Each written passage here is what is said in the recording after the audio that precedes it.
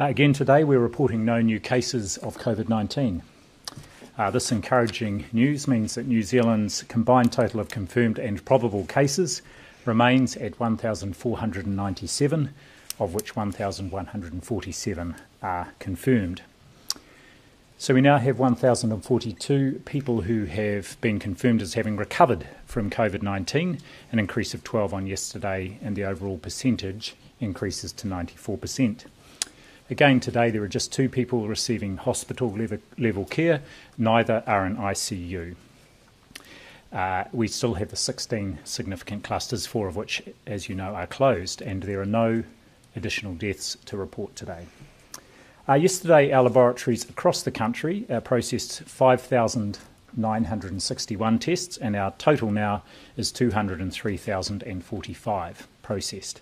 So, this milestone of 200,000 tests uh, which is just over 4% of the population, is a significant achievement. I want to recognise everybody who has been tested, uh, as well as the many, many people across the system who have facilitated that happening. It's a, a an incredibly important pillar of our uh, response to COVID 19. Uh, as we prepare for level two tomorrow, the sense of anticipation is both palpable and understandable we're looking forward to re establishing some of the routines and rhythms of our near normal lives. Uh, good hand hygiene continues to be uh, paramount, simplest and most effective tool we have to keep COVID 19 at bay. Social gatherings are a maximum of 10 people at once, and please keep track of where you have been to help us with contact tracing in case it is needed. So today's uh, figures do reinforce that we are on the right path that uh, we have uh, we are maintaining the gains made through alert levels four and three, and we're heading for success. But as you will have seen overnight from other jurisdictions, uh, this is a stubborn virus, and we don't want to be going down the path where we see spikes again. So we can't afford to give away the progress we've made. We need to remain vigilant. I do want to speak to some of the hardest parts of the alert level framework, and these parts have been difficult through the entirety of our response to COVID 19, um, but are particularly pronounced at alert level 2, and they are namely um, funerals uh, and tangihanga.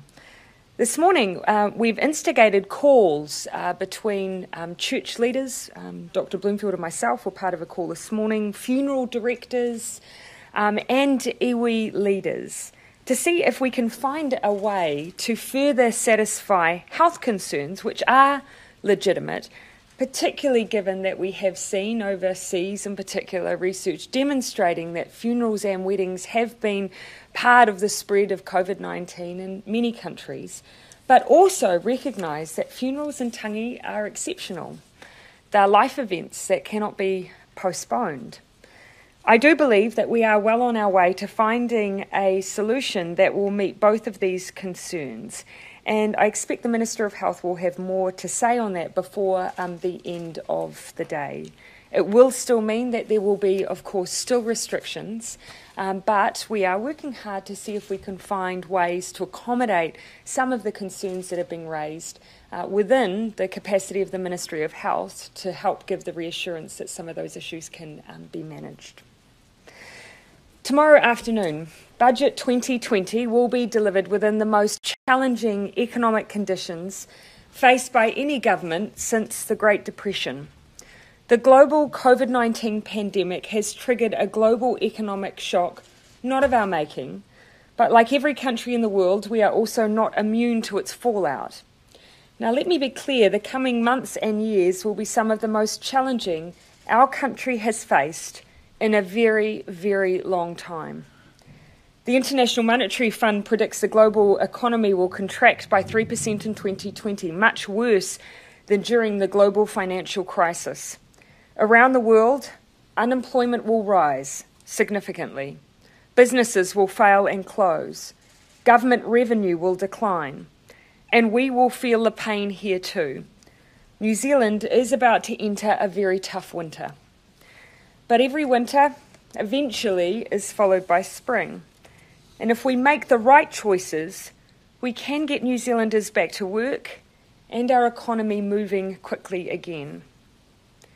Today, I want to set out the values that underpin our economic response to the virus and signal how we intend to tackle it. Firstly, though, the best economic response to the virus was always going to be a strong health response. Going hard and early means economic opportunities and faster than many trading partners. I know the last seven weeks have been a huge challenge to business, which is why the first phase in our economic response has been entirely focused on assisting business to stay afloat and supporting New Zealanders to stay connected to their jobs. I'm enormously proud of the work Finance Minister Grant Robertson and Social Development Minister Carmel Sepuloni did with a wage subsidy scheme. This nearly $11 billion investment has ensured that over a million and a half workers have stayed employed and connected to their jobs during the toughest period of the lockdown, while providing a guarantee to businesses to keep going as they can start to get back on their feet at level two. Sitting alongside the wage subsidy has been the largest suite of business tax changes in modern history, aimed at freeing up cash flow to support businesses when they couldn't trade. And our no interest loan scheme provides much needed cash for things like rent and other costs as they get up and running. These measures have worked so far. Our unemployment rate, it will sadly increase, but it has not to and Treasury scenarios suggest that because we stayed at level four and three for a shorter period of time, our unemployment rate could end up at a lower, the lower end of their projected ranges.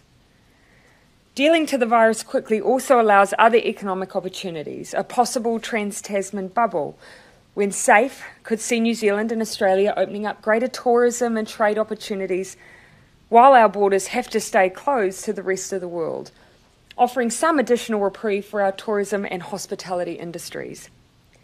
But the next stage in our journey of rebuilding together is recovery. Our focus now is the jobs and incomes of businesses and New Zealanders. Budget 2020 is but the first step in this phase. In normal years, the budget sets out the government's economic plans for the following year in detail, but this budget is different. It is not business as usual. Instead, it is a tailored solution to a unique situation. There is no playbook for the recovery we are about to embark on, but nor do we need one. When it has come to COVID 19, we have carved a path based on our people, our health system, and our economy. And now that is exactly what we will do again as we recover and rebuild. Let me say from the outset the team and I will bring the same determination and focus to the economic rebuild as we brought to our health response.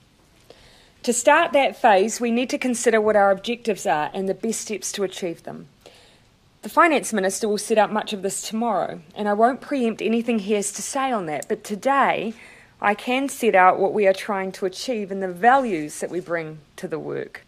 The first thing you'll notice is that we believe when times are hard, you don't cut, you invest. We will run the ruler over every line of expenditure. No question, we need to ensure that our expenditure provides value for money and supports our primary goal of jobs.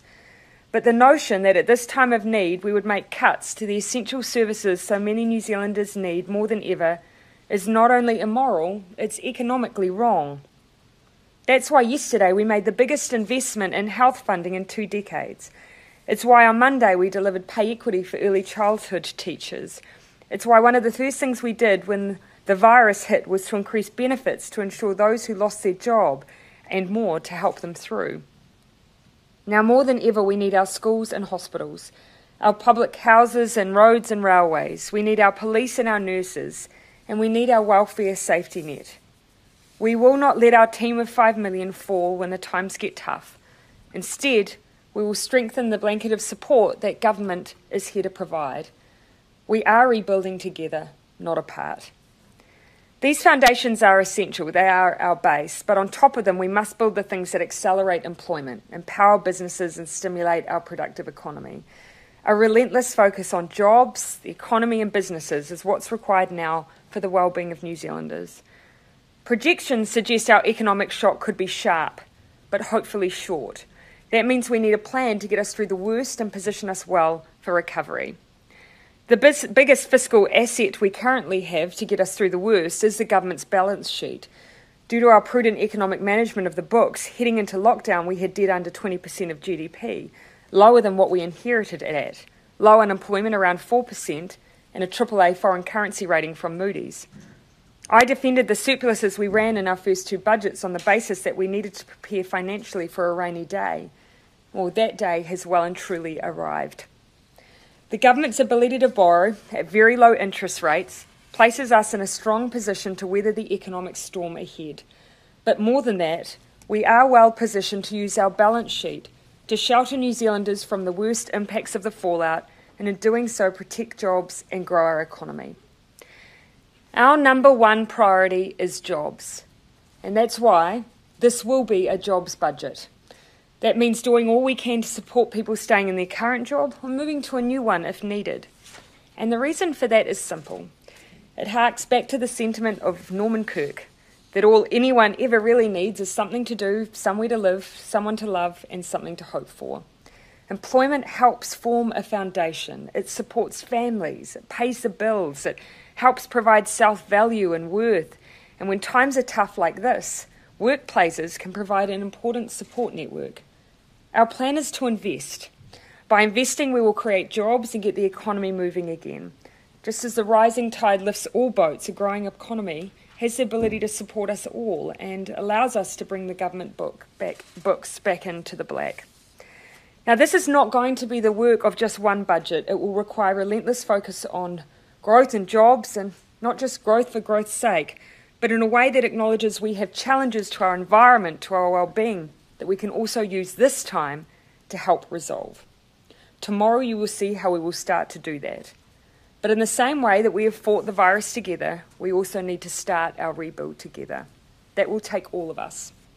In the coming month, the government will launch a comprehensive engagement program that will pose a simple proposition Look at what our team of 5 million achieved together in beating the virus.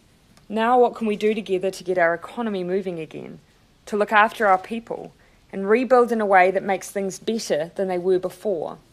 That will, of course, include the business community, but it will be broader too. If anything, the last few months have shown us that united we are a formidable force. When we channel our energies into a goal collectively, we are stronger for it. Prior to the virus, we faced serious long term challenges persistent inequality, poverty, the threat of climate change, the need to diversify the economy, low productivity, limited domestic manufacturing, and an abundance of low paid jobs. Do we return to those settings, or is now the time to find a better way? There are t- tough times to come, but we have experienced tough times before. And when confronted with external crisis, be it a Great Depression, a world war, or now a global health pandemic, our instinct has been to come together as business, as community, as iwi, as New Zealand. And we will again. We will use the strength of our economic position as government to carry the load while businesses and households get back on their feet. The situation is constantly changing and the future may feel uncertain, but as I said right at the beginning, we have a plan. We know it will be tough, but we will get through it the same way we got through the past two months together.